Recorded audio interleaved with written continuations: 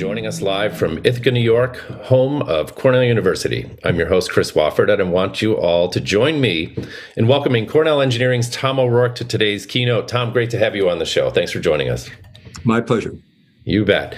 Uh, so, Tom, you've just returned from England. You've been delivering presentations uh, for vast audiences on infrastructure resilience for our friends across the Atlantic. Um, who was in the audience? Who were you presenting to? What were the desired outcomes? Tell us, tell us what you're up to over there. Sure. Well, I was in the United Kingdom, and I was uh, the chair. I am the chair of the International Advisory Group for the Center for Smart Infrastructure and Construction at Cambridge University.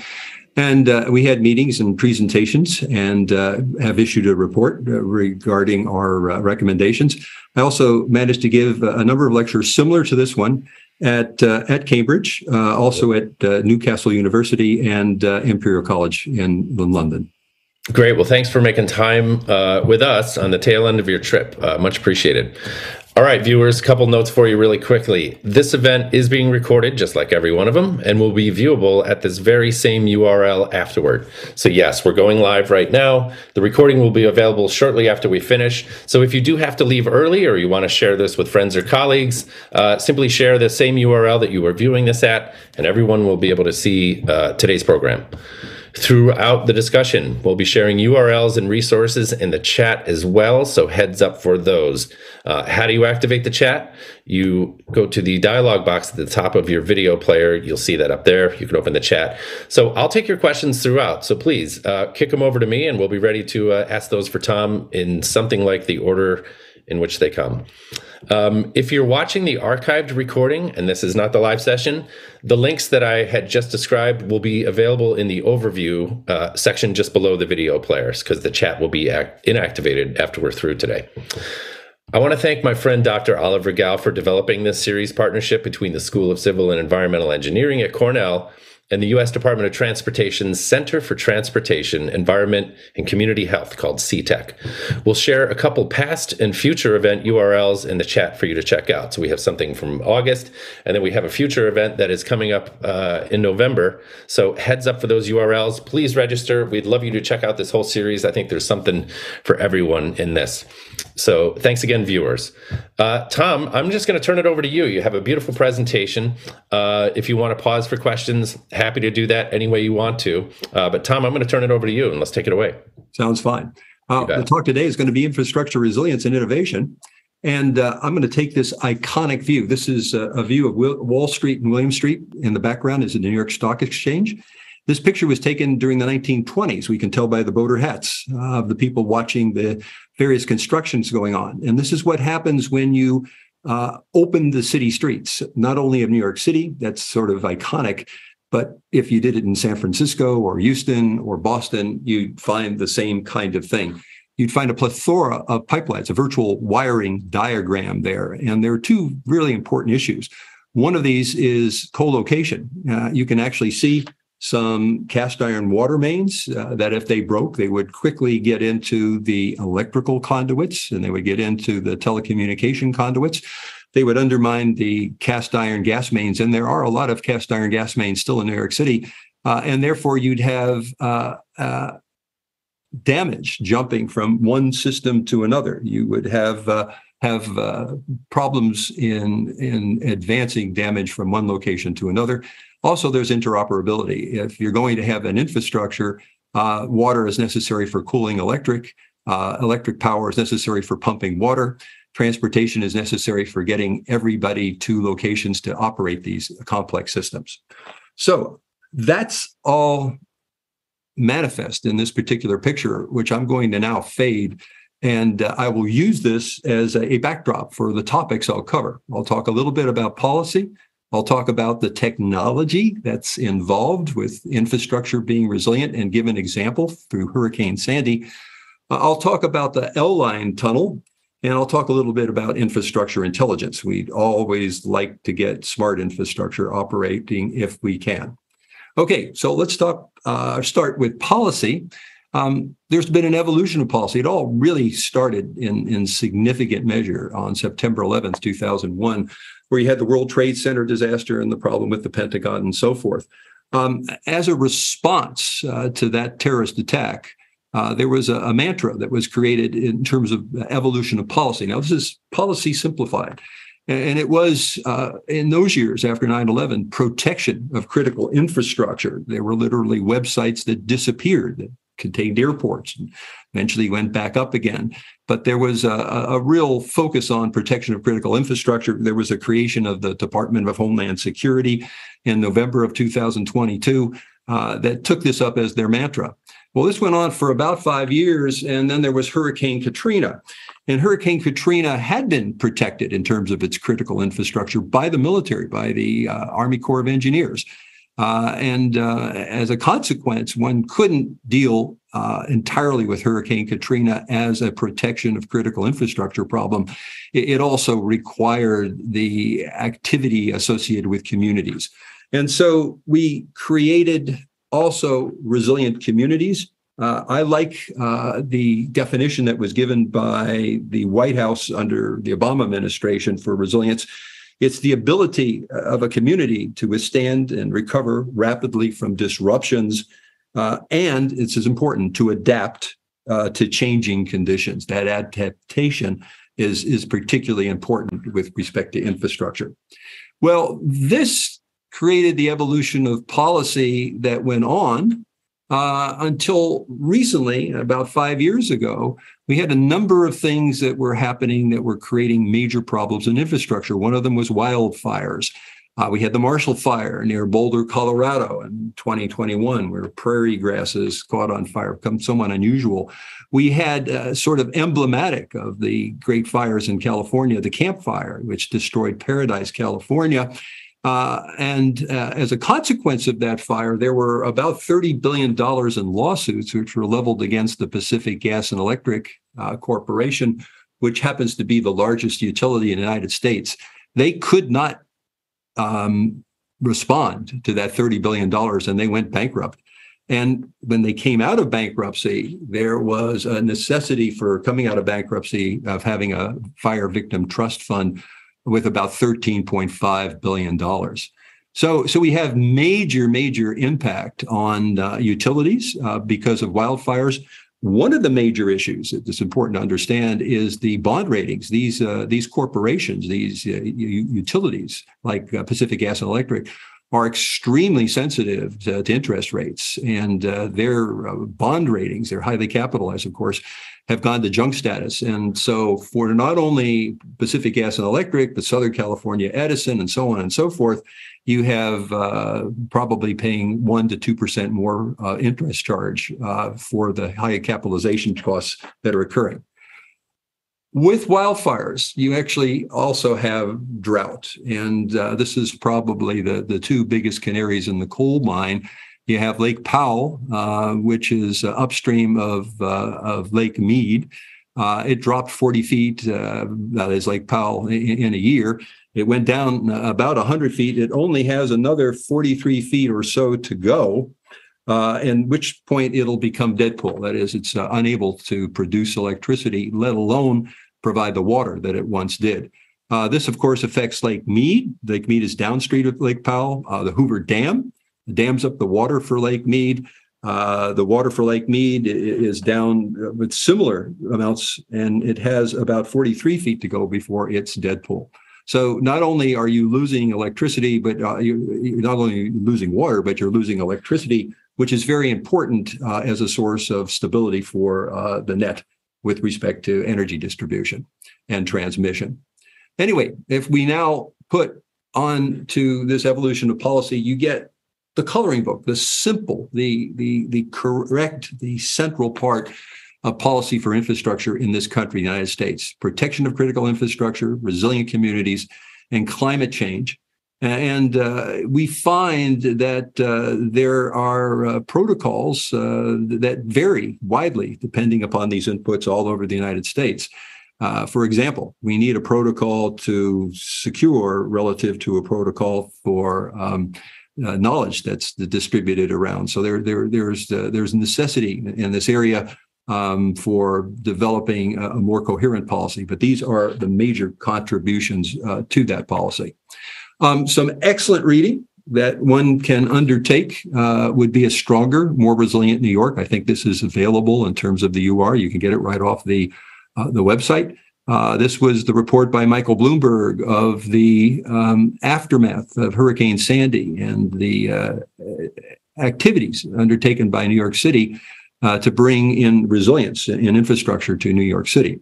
Um, this is required reading from my perspective. There's also another great uh, uh, report. This is about, by, again by uh, Michael de Blasio, excuse me, Bill de Blasio. That's uh, the, the climate resistance in lower Manhattan on the right hand side. Again, you can get this uh, on the internet, uh, and we're providing information for doing that. They're both really excellent readings. Um, topics, technology. Um, let's talk about Superstorm Sandy. Uh, in the northern hemisphere, hurricanes spiral or rotate in the counterclockwise direction. That means that you're getting tangential winds that are coming off this rotation, and it's those winds that push up the ocean into a bulge, and uh, that bulge becomes um, uh, surge uh, that affects uh, the given areas. So if you're paralleling the coastline, you're getting these tangential winds. What happened in Hurricane Sandy or Superstorm Sandy, there was another low pressure that was coming across the United States, west to east, and it pulled this particular storm in. As a consequence, you had both the movement of the eye and the movement of the tangential winds adding to each other, creating greater winds, pushing up greater amounts of water, having greater amounts of surge. And uh, if we take a look at the lower Manhattan, where we have the battery, you have the famous hydrograph, you have the surge that came in directly onto this. There was about 12 feet of surge from the hurricane. Unfortunately, that added on to the high tide. It happened to occur during high tide. So you got an extra two feet of water coming into the Manhattan uh, uh, metropolitan area and, and as a consequence, you had significant inundation. So if we take that uh, 14 feet and we add it to the sea level, we get a rough approximation. Uh, actually, a more scientific one would be to uh, take into consideration um, some of the bathymetry, but this gives us a pretty good one. Um, you get the inundation that occurred in the New York metropolitan area, and I'll just show this to you as we spiral in the areas that were underwater. A significant amount of New Jersey, you can see it right here, a significant amount of Long Island, uh, particularly the South Shore, and uh, the tip of uh, Lower Manhattan.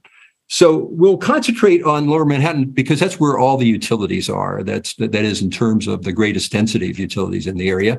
There's the battery, as we mentioned. There's LaGuardia Airport that was underwater. So getting to New York City, I really couldn't fly because uh, I couldn't land, uh, and therefore had to go by car to the New York City area. Here is a Hurricane Sandy inundation for Lower Manhattan. We'll fade this into the inundated areas. We'll show you some spots: the Brooklyn Bridge, the Battery, the World Trade Center. Uh, World Trade Center, very interestingly, is right in front of 30 West Street. 30 West Street is the Verizon central office, probably the largest in the world. It takes all of the electronic trades for the stock exchange through it, and it becomes essential for the New York Stock Exchange. Um, as a as a consequence of hurricane uh, uh, of the fire department, the fuel pumps or the, the, the fuel tanks for the water uh, in 30 West Street were placed in the fifth level basement. There's five levels of basement in this building, so it, it's quite deep. And then the fuel lines go up five stories. They, they actually moved uh, the generators to the seventh story. So the, the generators weren't inundated, but the tanks were inundated. And what people forget about in the basement areas is that there's lots of flotsam. So as the water comes up, there are floating objects that act like battering rams on the fuel lines. And the fuel lines here were broken.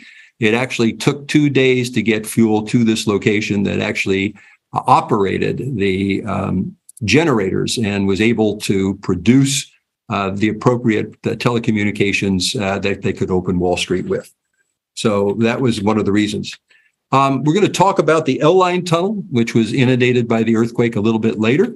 And, uh, and then there was also Broad Street. So the Verizon company acts because the New York Stock Exchange is so important on a redundant system. It had another central office on Broad Street, but you can see by the inundation map that this was totally underwater.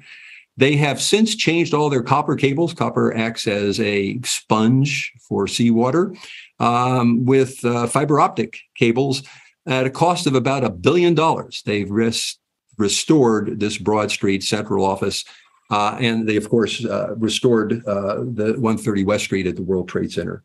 By the way, this was the, the second time in 11 years I was at the World Trade Center for massive destruction. The, the original was associated with the World Trade Center disaster. Okay, um, if we now take this inundation of water and we superimpose it, we're going to move it from left to right. We'll superimpose it on top of the tunnel transportation system, the subway system in New York City. And then I'm going to fade this thing so that we make it transparent. And you'll notice that there is South Ferry Station. South Ferry Station was just renovated before Hurricane Sandy at a cost of about $60 million. And it was completely destroyed again. You got 14 feet of water sitting on South Ferry Station. And then you have all of these lines that are interconnected with this uh, station that go out horizontally until they achieve an elevation which is similar to 14 feet above South Ferry Station. And then the water stops because it's balanced at that point. But that means it goes many, many miles horizontally uh, before it can achieve that particular stability situation and it inundates all those tunnels. So let's take a look at the tunnels that were flooded. There were seven subway tunnels. There was the Amtrak East and the Amtrak North. And then there was the path tunnels, the uh, Port Authority and Trans Hudson tunnels. And, these are all rail tunnels. So um, for every rail tunnel, there's an inbound tunnel and there's an outbound tunnel. They're separate. So we've got 10 rail tunnels. We've got 20 separate physical tunnels that have to be brought back into shape and then there are three vehicular tunnels on top of that. So, one of the biggest stories of Hurricane Sandy was the inundation uh, of the tunnels and the uh, destruction, literally, of the transportation system. And you know it's a it's a system, and it was out in this particular area, and therefore you couldn't do ridership ex- except that you would do it locally, uh, and that's what happened. Um, they, these tunnels were restored very quickly, but then slowly were really restored uh, over a number of years uh, from about 2012 when Hurricane Sandy occurred to about 2020 when we did the L line tunnel. Uh, each of these tunnels had uh, salt water residual in it and problems with respect to uh, the, uh, the, the uh, fiber optic systems and so on and so forth. They all had to be changed out. And uh, each one of these tunnels was renovated over those number of years. Um, and the renovation cost anywhere between 300 to 300 million to a half a billion dollars each. Okay, that's not all. We actually had Con Edison's, Consolidated Edison of New York, uh, substations. There was a 138 kV substation located right about here. Uh, it had seawalls that were 12 feet high, which would have been okay because the surge was only 12 feet. But unfortunately, it came in on the high tide. So it topped those seawalls. It caused the 138 kV transformers to explode. You can still see this on on on on the on the internet. You can go to YouTube and actually see this this video. And as a consequence, Con Edison shut down all the electricity. So this wouldn't happen again uh, from about 42nd Street, 38th Street to the lowest tip of southern Manhattan. So now all these buildings became islands, right? But they, we we know that they had their generators or at least their fuel tanks in the basements and they were cut off. So you couldn't pump water uh, be, uh, above the 20th story. The, you have a gravity feed system here. So you, you've got the balancing reservoir at Yonkers, New York, and that'll send water to the 20th story and all those high rises in New York. After that, it has to be pumped to the top tanks in order to wet down. Here's electricity and wetting and water and so forth. Uh, the system, and uh, that wasn't able to happen. We also have a steam distribution system. So, off some of the power plants, we get secondary heat. Uh, we distribute it in terms of steam. There's 105 miles of the stuff that's 10 to 30 inches in diameter. It has pressures anywhere from about 200 to 400 psi and temperatures at around 415 to 475 degrees Fahrenheit. This is literally a bomb because when these overheated steam lines come in contact with cold water from flooding, they are going to form a bubble, and that bubble can't be controlled, and that could be resulting in uh, it, the system blowing up in various locations. So they shut the steam distribution system down. Also, this this really shows you the effect of natural disaster on integrated infrastructure, different types of systems uh, affected, and different effects having effects on other types of systems. Okay, uh, we all know that there are steam line explosions in New York, and guess what they cover the steam? This is in 2007. There was one on 42nd Street. It killed a person, but it was also covered with asbestos cement. And when it explodes, this asbestos goes all over the buildings. They get washed out to the uh, air grates in the subway systems, and then the subway becomes contaminated and has to be um, cleaned by people with moon suits. Okay, so lessons heard, uh, learned from Hurricane Sandy. There's a long tail recovery. We were still fixing tunnels eight years later in 2020 from the hurricane in 2012. Um, there is protection now that is protecting the tunnels against floor flooding. There's doors, there's dikes, there's diversions, there's there's this sort of um, blow up type of bulb in here, which is deployed in a couple of tunnels uh, that can be blown up automatically uh, as a storm is incoming. Um, we we need to remove the diesel generations from the basins. I think that's being uh, accomplished, but we also need to secure the fuel tanks, and we need to secure the fuel lines from this type of flotsam hitting them. And you can see we have a picture of it right here uh, in the PowerPoint. And then, of course, backup power for water supply in buildings. We, we, we, we know that they're going to be potentially out of electricity. So, how do you pump from the 20th story where gravity takes you to the top? Well, you can't do it with, uh, with, uh, with solar panels because there's no sun during a hurricane, but there's lots of wind. And therefore, you can have a wind generator in there and actually use that as a backup uh, technology for Hurricane Sandy, uh, UAV equipment, drones, drones that now uh, employ a software called Structure from Motion, where we take uh, photogrammetry uh, principles and we can take three dimensional views uh, from these drones as to what's happening. Uh, we also have building information systems, computer systems that uh, that go beyond buildings. They go to various neighborhoods 3D community models where they take into consideration topography and bathymetry, which are constantly being updated. They're constantly being added to these BIMs for areas, uh, and they can help uh, local communities uh, plan for uh, the next inundation. And then, of course, we have deployable flood systems, flood control systems. You see them over here in the HS, HESCO uh, bastions and then and also in the Tiger dams that have been deployed as part of uh, de Blasio's protection of southern Manhattan. Okay, uh, digital twins. Um, we worked uh, with two groups, with the San Francisco uh, Public Utilities Commission, uh, particularly the fire department there, and then also the Los Angeles Department of Water and Power to create a parallel universe of their water supply system. We modeled all 12,000 kilometers of water supply pipelines in that system, uh, the special valves, the reservoirs, and so forth, and created a uh, electronic counterpart to the actual water supply system, which we then used uh, to see what the effects of various earthquakes would be. And then we looked at the effects of various earthquakes to set policy. Um, so this decision support system was one of the very first digital twins. It was an absolute duplicate of the water supply of Los Angeles. And this is the largest water supply or among uh, that in the Department of Environmental Protection water supply in New York City are the largest in the United States. Uh, we simulated all 12,000 kilometers. Uh, it was a comprehensive seismic geohazards. We, we captured the seismic hazard with about 40 or so uh, different major earthquakes in the area. Uh, we need special software for damage to hydraulic systems. Uh, we have those systems available to us now uh, in terms of GIRAFFE, WNTR, and uh, pressure dependent demand PDD systems. Um, uh, we also were able to look at the economic and social impacts, and uh, and then also look at the the the interdependencies between water and electric.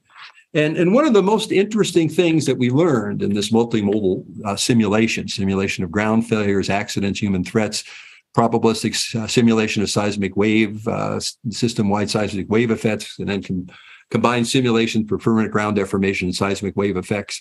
Uh, what we what we learned is uh, that uh, that the social aspects of the system became pretty important.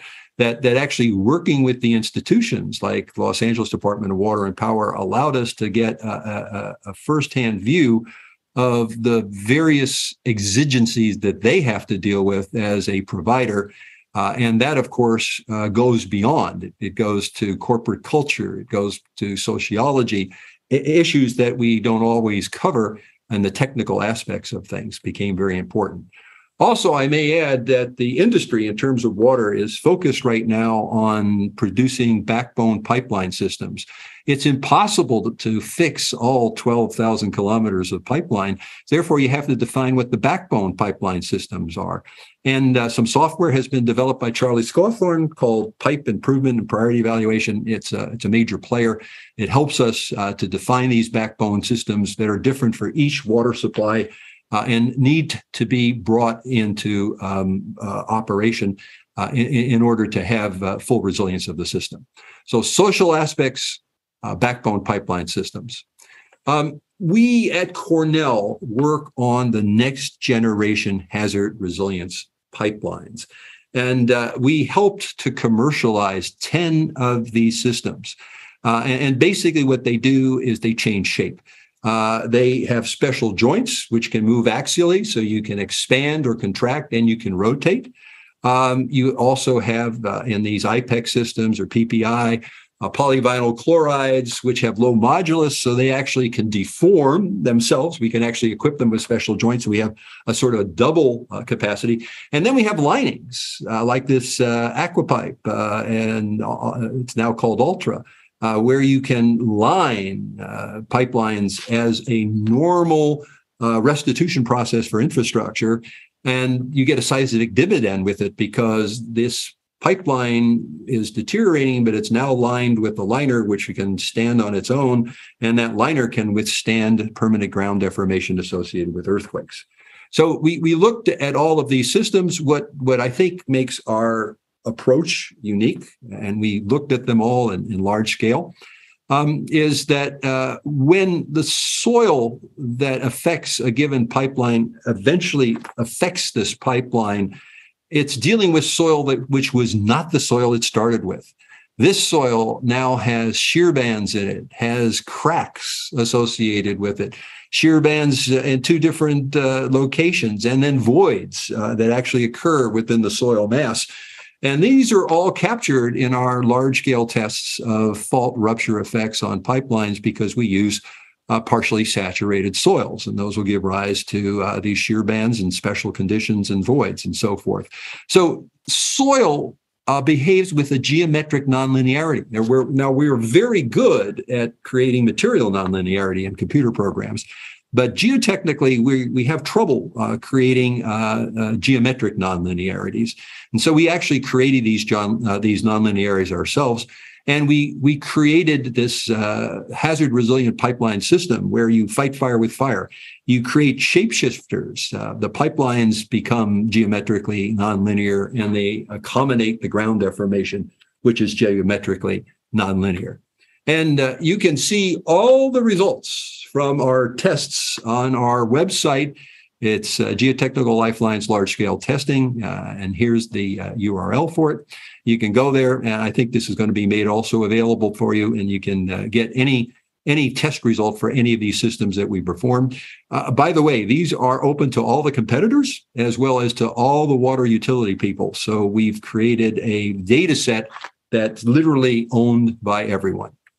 Okay, the, the next topic is the L line tunnel. Uh, the L train tunnel is about uh, where it crosses the East River is about one and a half miles long, about 2.4 kilometers. And it was built about 100 years ago. Um, and uh, if we take a look at the map of the L line tunnel, it starts on 8th Avenue and it finishes over here in Canarsie. And it uh, it's called the L line uh, tunnel underneath the East River or the Canarsie tunnel. And uh, I, I, carries about 250,000 passengers per day. So it's pretty important in terms of a transportation artery. Also, uh, I, I, will note that uh, having worked with many of the utilities in New York, that the best bagels come from um, Canarsie. So not only is this a problem with respect to flood inundation, it's a um, uh, it, it, it's a culinary disaster if we don't get this particular line functioning properly. Okay, so in 2012, Hurricane Sandy filled this tunnel, and you can see where it filled the tunnel. It came, the water came in from the fan plants, where you have all sorts of penetrations and openings, which are now um, shut down by virtue of special closures and so forth and it inundated the tunnel from Avenue D fan plant to North 7th Street uh, fan plant in, in Brooklyn, or excuse me, in, in Queens.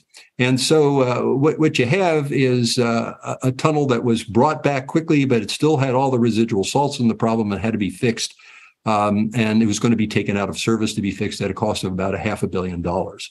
Uh, the tunnel is actually kind of small in diameter. It ranges anywhere from about 15 feet to 15 and a half feet. Um, it operates uh, and has all its uh, utility, so to speak. It, it has the uh, water supply, the uh, the electrical power system, the telecommunication systems. Uh, in bench walls, which, which, are at the side of the tunnel.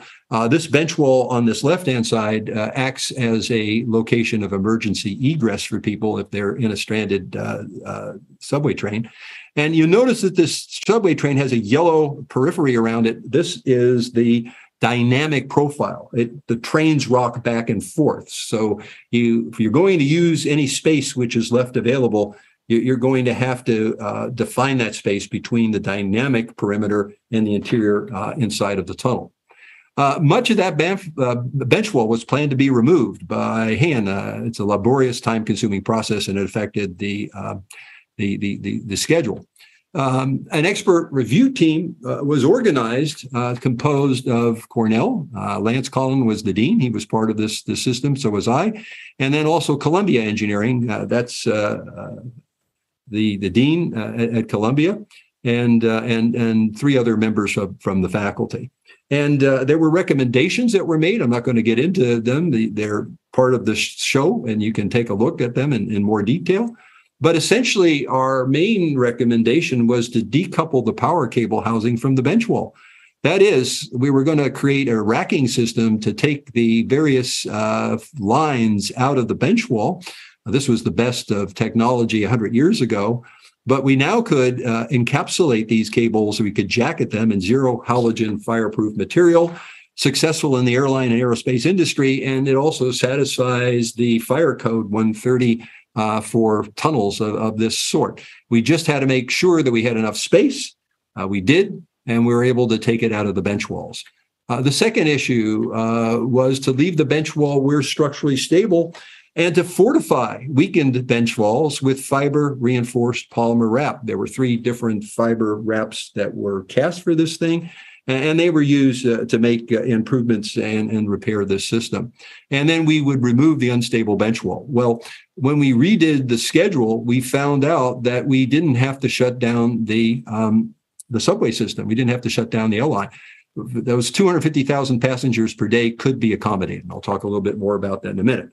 Um, to enhance the visual inspections, people actually walk these bench wall areas and, and look at them for deterioration we were going to install smart fiber optic. We did install smart fiber optic sensor cables along the remaining bench wall, and that's an enhancement to the physical observations uh, to be able to detect shifts or cracks in the bench walls. There's one train a day that operates and takes a lidar picture at high resolution, and this creates a point cloud of, of uh, in terms of the elevate in terms of the shape of these structures if you take one point cloud from and subtract it from one about a year from now, you actually get settlement or movements, horizontal and vertical. So you can use these point clouds as a uh, enhancement to the smart fiber optics and the visual. Uh, and uh, fiber optics and high resolution lidar are tried and true technologies. Uh, they've been used in London on the Crossrail system, on the London Bridge, etc. Um, and then, of course, we had recommendations as you transition from construction during the evening to opening up all the lines uh, in the daytime hours. you may have airborne silica, and that can cause problems with potential passengers. And therefore, we recommended that they have quality assurance, that there be an independent contractor that went in to measure this and create a record that there was no problem with respect to the airborne silica. Um, uh, there, there was already a contractor working for the tunneling contractor to measure these things, but we uh, required or requested uh, an additional one uh, to provide that particular record for MTA New York City. Okay, this means that no closure of surface was necessary with the new design. Work was completed with weekend and nighttime closures, one tube at a time, leaving the other to run trains in both directions. The work was completed about three months early. It saved $100 million on the project. And this is what's really important it maintained service for 250,000 passengers per day. I can't tell you the disruption this was causing. There's a tremendous disruption. Just the businesses in these neighborhoods that, that are no longer neighborhoods that are going out of business would have been a significant uh, financial consequence of not keeping the passengers moving. Okay, that this kind of process can be applied to some of the big infrastructure projects in New York, like the Gateway project, which is going to create another tunnel to um, Penn Station uh, and, and therefore provide for redundancy and, and additional service uh, from the commuter traffic from, uh, from New Jersey uh, to New York City. And then finally, uh, intelligence and infrastructure. Um, we ha- are working with advanced sensors. We work with the University of Cambridge, with Cornell and UC Berkeley.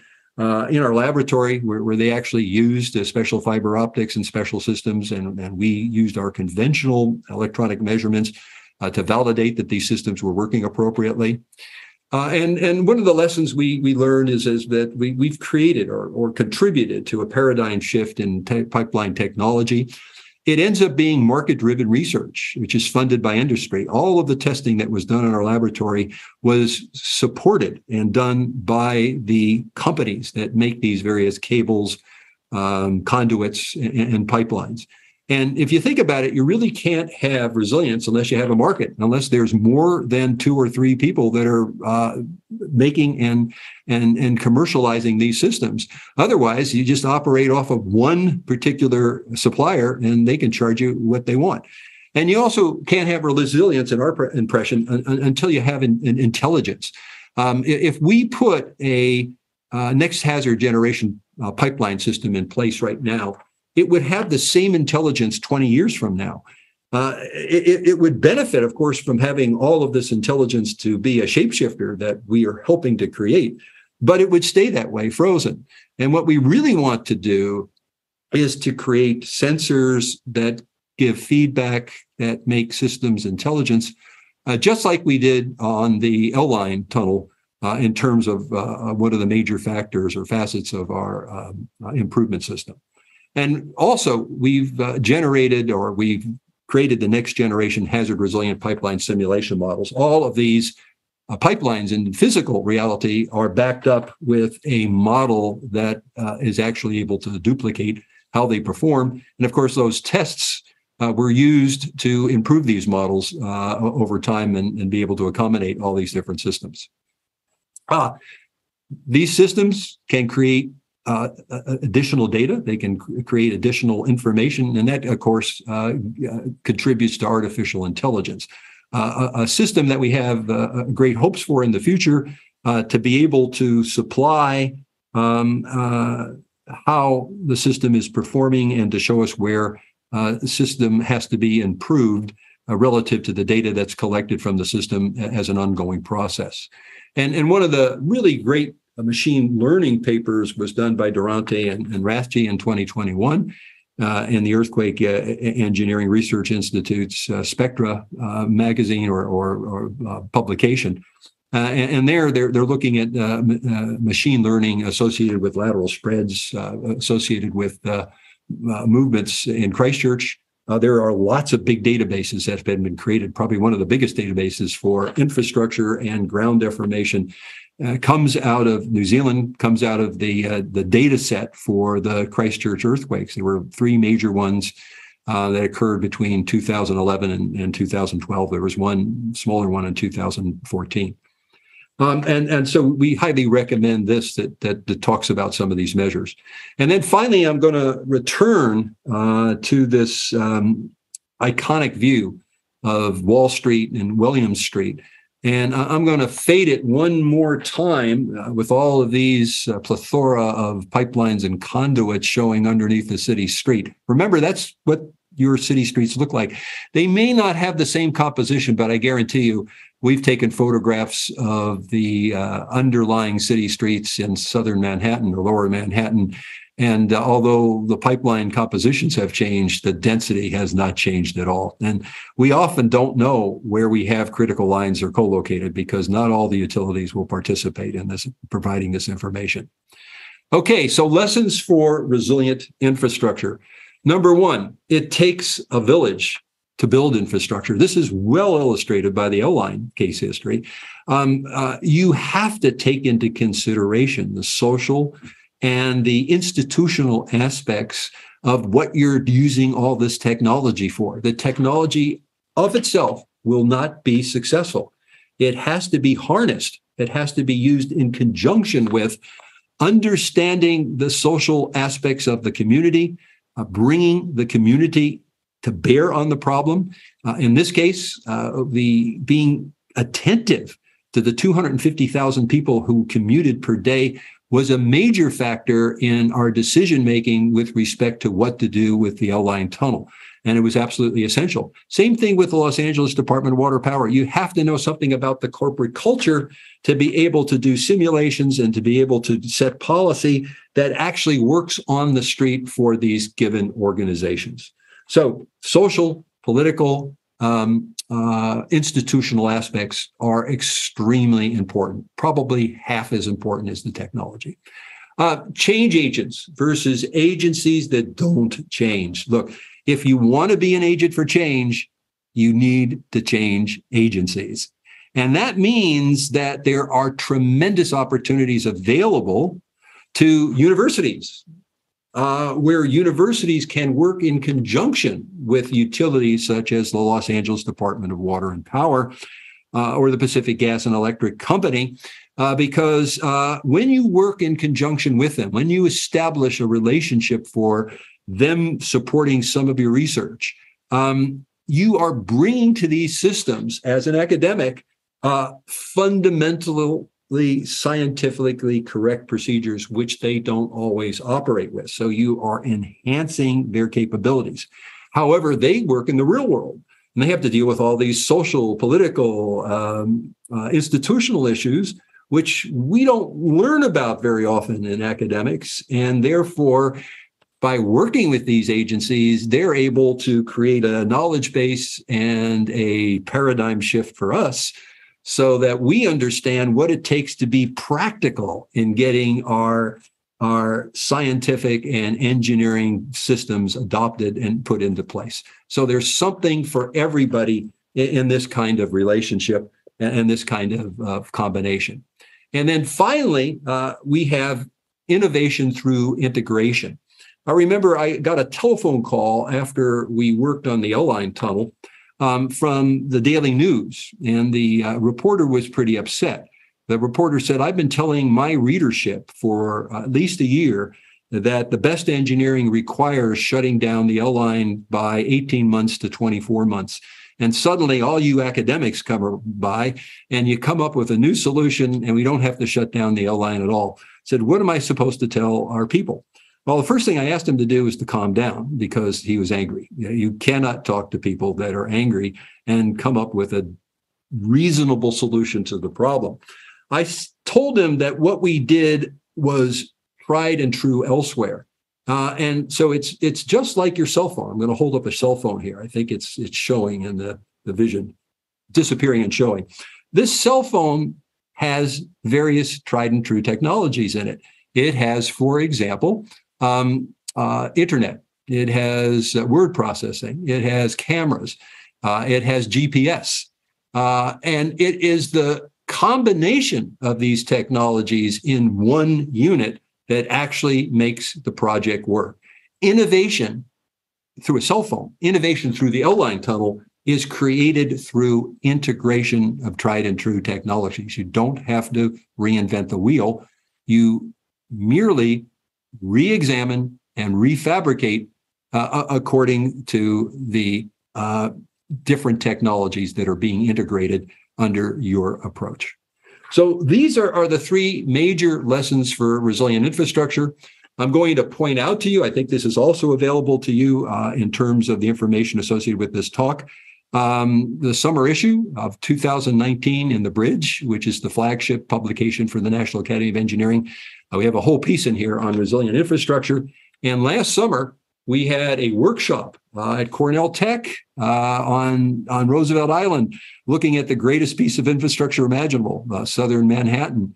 And uh, we had a workshop with the British, uh, funded by the U.S. National Science Foundation, the UK Engineering and Physical Sciences Research Council. Uh, and we looked at funding and financing of, of, of infrastructure, at emerging technology, and then resilience, net zero, and carbon and, and, and equity. So that's pretty much what I intended to say. I'm very happy uh, to turn things over to Chris and uh, to also answer questions that you might have regarding uh, resilience and infrastructure. Thank you so much, Tom. Yeah, we have a lot to ponder, a lot of questions coming in, and they're kind of all over the place, but um, uh, quality stuff coming in. You've prompted some good uh, thought provoking questions from our audience. I have a question from audience uh, member Glennon who asks uh, Now, in terms of our coastlines, do you see a greater use of strategically placed dikes and or the use of artificial nourishment on beaches by adding sand as cost effective? Uh, and the question is cost to do that versus the potential reduction of damage. Can you speak to uh, beach erosion measures that are that being outlined in Glennon's question here? Sure. I actually I, I can really help on that. Uh, yeah. A place where where they actually uh, moved a lot of sand onto the beaches in order to create protection was in Mexico, and uh, in in 2005 uh, we had.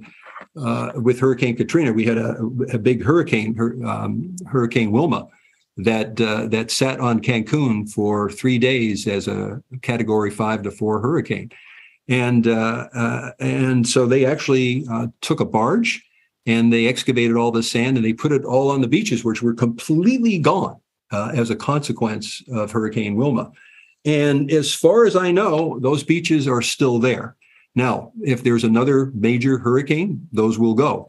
So you're restoring a beach line, you're providing some protection, uh, but that protection uh, is going to have some limits to it. And that's going to be uh, limited by virtue of when the next storm occurs. It's going to be limited by virtue of sea level rise, which is always a major problem for us. We, we have to deal with it in New York City. We have to deal with it in San Francisco. We have to deal with it all over the United States. All right, let's make a geological shift. Daryl asks, what are your thoughts on building a 42 inch compressed natural gas pipeline in a mountainous karst topography? Uh, looking for a prescriptive answer or, or a pass. What do you think, Tom? Uh, natural gas pipelines uh, are, if they're built correctly. Now, this this requires uh, a certain amount of oversight, and there typically is a lot of oversight associated with the, the with the construction of new uh, natural gas pipelines.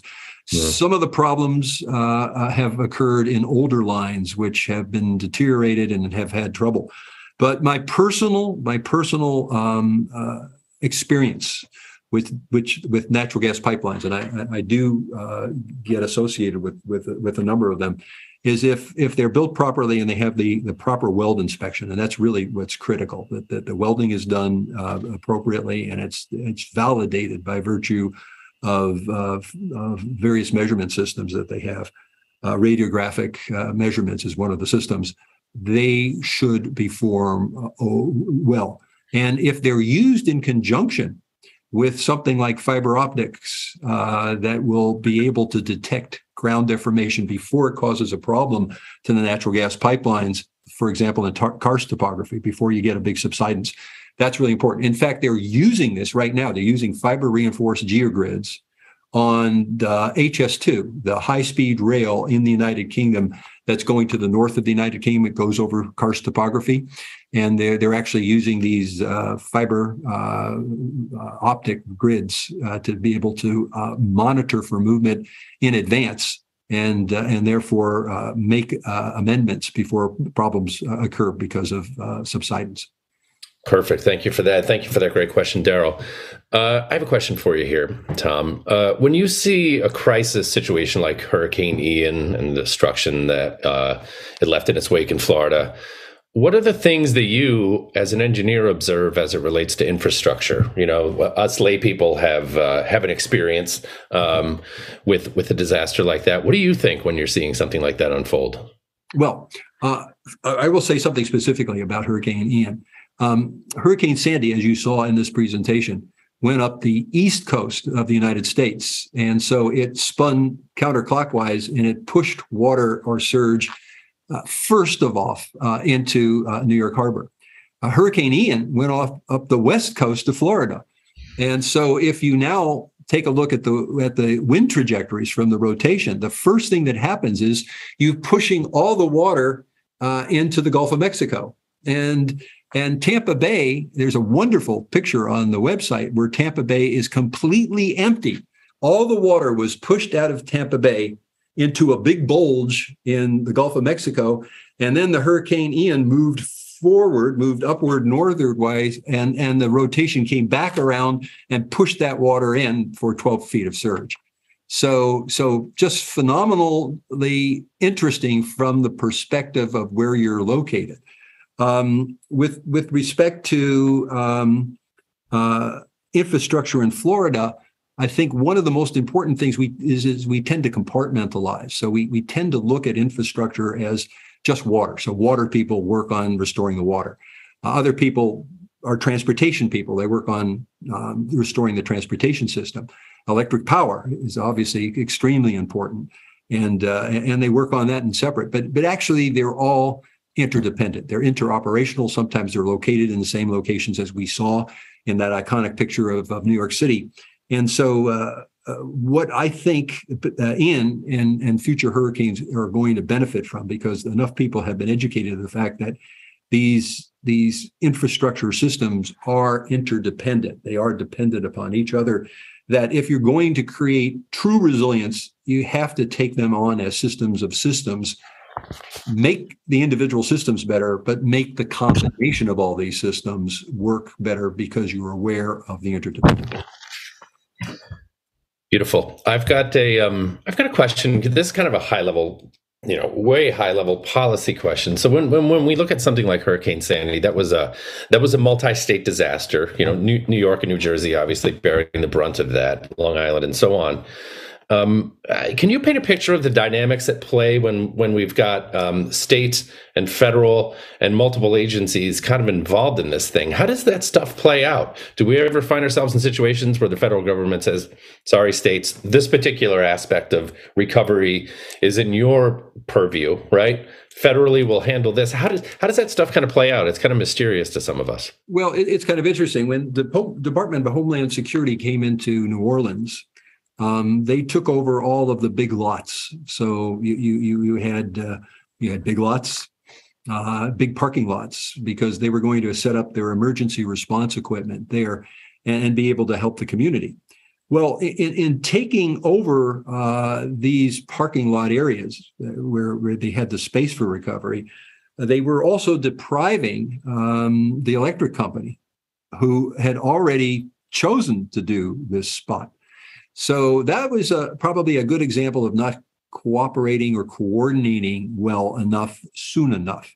Mm-hmm. Uh, and so I think uh, one of the things that we've learned from from Hurricane Katrina in New Orleans is that the, the, the locals know the ground well, and you have to coordinate with the local folks uh, in, in, order to not step on toes, mm-hmm. in order to uh, collaborate appropriately and provide the assistance that's needed when it's when it's needed. I mean, Entergy New Orleans was pretty good at this sort of stuff. They had been to Florida and other locations in Texas as a helping utility, helping to restore after a variety of hurricanes, and they knew what they were doing. Um, uh, I think in the future, you you work with the uh, local folks first, then you combine them with the uh, statewide uh, response activities, and then finally you get coordinated with the federal response. But it, it takes a coordinated oper- uh, operation. When you're when you're not coordinated, it not only doesn't work well, it works badly. Mm-hmm. Yeah.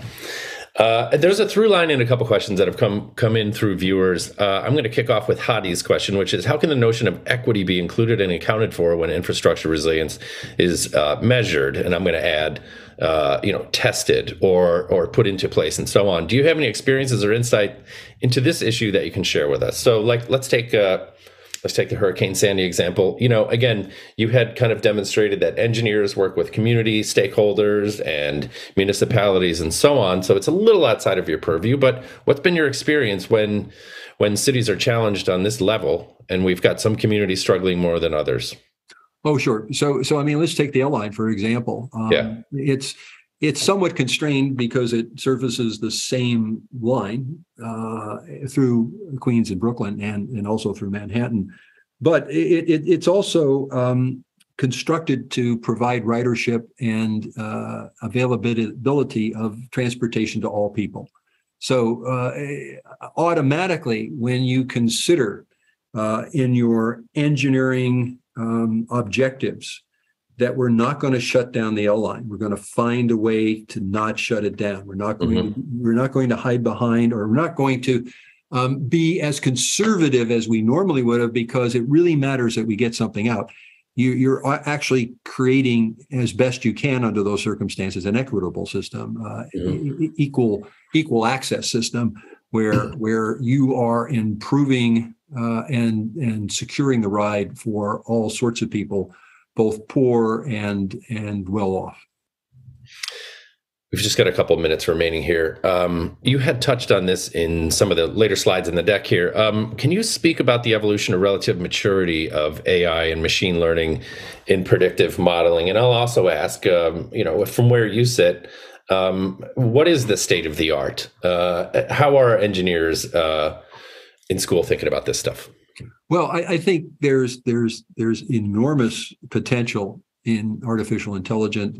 Um, there's enormous potential in, in, in using these technologies, uh, provided number one that we're acquiring the right kind of data. So, as you well know, if you have junk in, you end up with junk out. And so, uh, when you go about putting sensors in the environment and creating smart infrastructure that gives you a feedback in terms of performance um, you have to spend some time on understanding exactly what it is you're getting from these data and what exactly they can or they can't do in terms of future prognostications about what's going to happen. So, so th- that becomes very important part of this.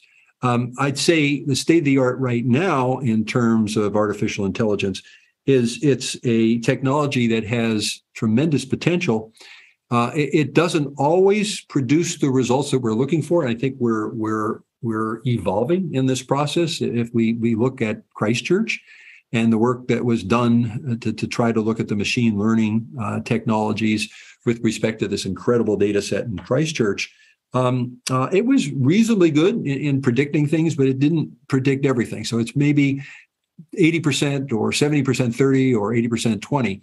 There's there's uh, items that weren't fully cover, uh, covered. And, and that may well be associated with the nature of the data, the nature of the data that was acquired by satellite, the nature of the data was acquired by LIDAR. So um, uh, I'd say it's it's extremely important to make sure that you get the two of them in conjunction.